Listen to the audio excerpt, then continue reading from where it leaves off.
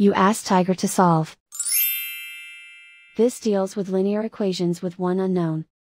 The final result is x equals 13. Let's solve it step by step. Simplify the expression. Group like terms.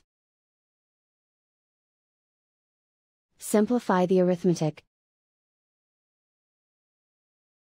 Group all constants on the right side of the equation. Add 2 to both sides. Simplify the arithmetic.